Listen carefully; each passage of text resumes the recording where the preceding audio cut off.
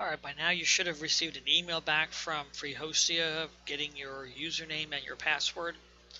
Um, if you can't find it, you might want to look in the junk or spam folders within your email because sometimes, because it's coming from FreeHostia, your um, your email system might put it in one of those folders. But once you have it, you'll see you have a username, which is text, and then you have a password. Usually that's numbers or text and numbers. So the first thing you want to do is go ahead and log in. And then you want to go ahead and type in the, the uh, password that they provided you.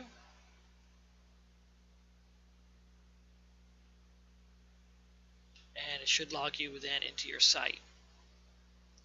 Uh, once you get into your site, there are, uh, we want to go ahead and change two passwords because the numbers are, are tricky to have to type in. Uh, but if you want to keep them, that's fine. But most people want to go ahead and change it, and this is how I recommend you do, do so. First thing you want to do is go into My Accounts, and then you want to click on Change Password. And then once there, it's going to ask you what your current password is, which is all the numbers. Your new password should be computer, all lowercase, C-U-M-P-U-T-E-R, computer. And the reason for that is way you won't forget your password. But if you want to go your own way and do something trickier, fine. Uh, no one's going to hack into your stuff. There's nothing here to hack into. So I recommend using all lowercase computer. Once you have uh, put your your current one and then computer twice, hit change, and it'll go ahead and change your password. And then from now on, when you log up, log into uh, FreeHostia, you'll use that new password computer rather than using those numbers. The next thing we want to do is change something called FTP. So if you go up to here to Files and then FTP uh, Accounts, uh, that stands for File Transfer Protocol, and that's how we're going to transfer our files. Uh, the by default, your ugly password with all the numbers and everything else is the password and we want to change that to computer also. So click on the uh, gear. This one you only have to type in the word computer uh, once and then modify FTP account.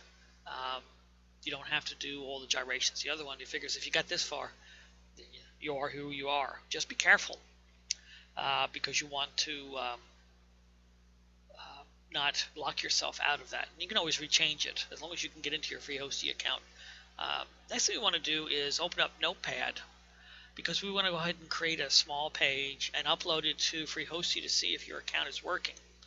Um, if I go back to My Domains and then Hosted Domains, you can you'll be should be able to see the uh, domain name that you registered with FreeHostia. And here's the one I registered. And notice that there's a red X here, red line here, meaning that it's not working. But if I hit that nub, it should turn into a check mark showing that it's correct. Even if it stays red, that doesn't mean that you've done something wrong. Sometimes FreeHostia uh, has a hard time updating that to a green check mark until you've logged out, logged back in again. That's not important though, because we're going to test it using a file. So right now, if I copy this by selecting it and then doing Control C, and then moving up to uh, fresh um, browser, and paste that in and press enter, it shows me what I have right now, which is absolutely nothing. There's nothing in your account. So this is what people are going to see when they type in your domain name. Well, we don't want to have that. So what we're going to do is we're going to use Notepad because I don't want to spend too much time on this. And we're going to say, okay, well, we're going to use HTML. And we're never going to do a title. We're just going to do a body and then we're going to put in an H1 tag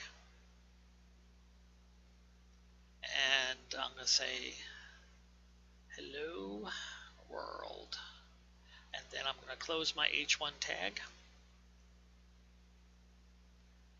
and then I'm going to close my body and I'm going to go ahead and close HTML actually we didn't need any of that. All we had to do is put hello world up there when it came, but at least we, we have some structure here. Now the, the file we want to save it as is index.htm. And the reason for that is that is what FreeHostia is going to use if someone doesn't type in a specific file name. So I'm going to do file, save as. What I'm going to do is I'm just going to stick it on my desktop. But I have to change from text file to all files. And then I'm going to call this all lowercase index.htm. And then I'm going to go ahead and save that file. So we have now this index page with some HTML on it. Now we want to upload it to FreeHostia. So let's go back to FreeHostia. We're going to go back to Files. And this time we're going to go into the File Manager. That's another way we can get our files up uh, to FreeHostia. Okay, and then I'm going to wait for it to come up. And hopefully Ah. Okay, lost internet there for a second. So we're going to click on Files, File Manager, and then it'll take us into a File Manager section. And we want to click on our root directory, which is the tom, this one right here, whatever your name is. And then we want to go ahead and upload a file.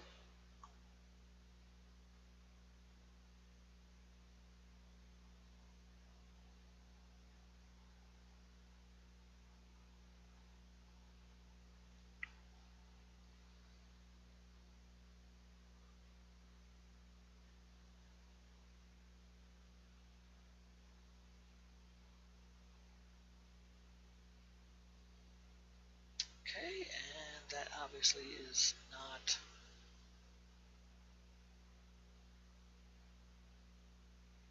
Okay, and then we want to upload a file.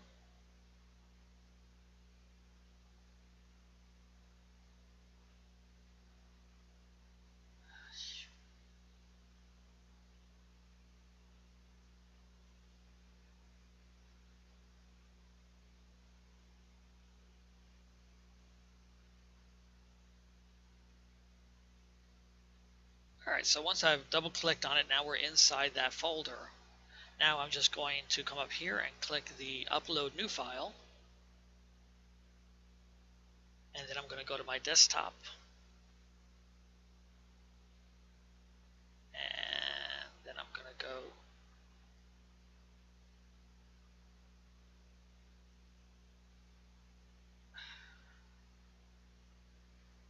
and I'm going to find my index file, which is right here and then I'm going to tell them to go ahead and upload it. Alright, now that I have that there, I'm going to go back to our page and I'm going to hit the refresh button and there's my hello world. So now we know it's working, although it was difficult getting there. Alright, so that's it. We changed our password, we created an index page, we went to their files section, the file manager, we went into the um, web page we have, which is our, our site here, and then we went ahead and we hit the upload button, uploaded our index.htm file, and then we went and checked it out by going to uh, the internet and then typing in our website address, and hello world comes up. It, that's just a test file. It's not what we're going to be using. Next, we're going to go ahead and upload our files and see how everything works.